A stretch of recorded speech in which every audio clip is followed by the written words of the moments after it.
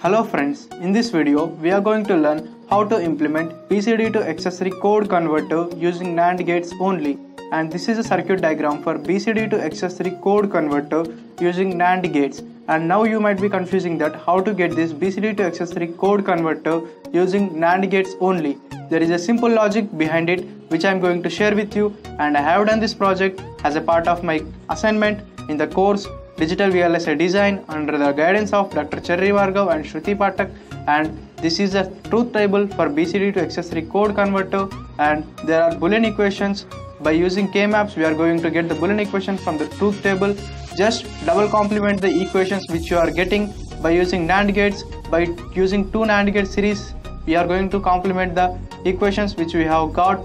And now we are going to see the execution of the inputs and getting the output when we are going to give the input 1 the excess-3 code converter output is 4 that is 1 plus 3 equal to 4 and now when we are going to give the input 2 the excess-3 code converter output is 5 that is 2 plus 3 equal to 5 so we are getting the 5 output and now 3 input is 3 and the output 6 that is 3 plus 3 equal to 6 and the input is now 4 and 4 plus 3 equal to 7 and that is a BCD to excess-3 code converter because 4 plus 3 equal to 7 and 5 now input is 5 and output is 8 so it is working perfectly and we can say that it is a BCD to excess-3 code converter working very perfectly and 6 plus 3 is equal to 9 and 7 plus 2 7 plus 3 is equal to 10 and this is how a BCD to excess-3 code converter is going to work.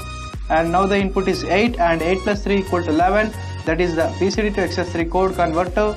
And now the input is 9 and 9 plus 3 is equal to 12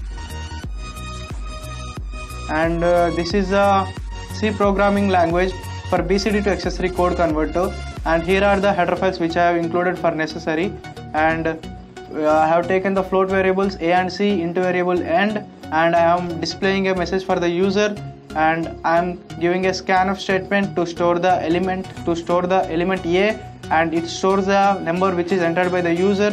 And here it is asking to select the access to, to BCD to excess-3 code converter. And here I am seeing that c equal to a plus 3 which means the number which the user have entered it is going to add 3 for the number which user have entered. And here it is a scan statement scan scanf statement which is going to store the store the option which be, which is selected by the user. And this is a case statement like switch switch case statement and when the user is printing when the user is pressing 1 and it is going to execute the case 1 that is c equal to a plus 3 so it is going to print a the which is number is entered by the user and plus 3 which is going to excess 3 now i have entered 4 and getting the output 7 so successfully implemented the bcd to excess-3 code converter in c programming also. And now i'm going to show another result that is 9 plus 1 or 9 plus 3 equal to 12 so this is successfully executing. So thank you for watching. If you like this video don't forget to subscribe and like and share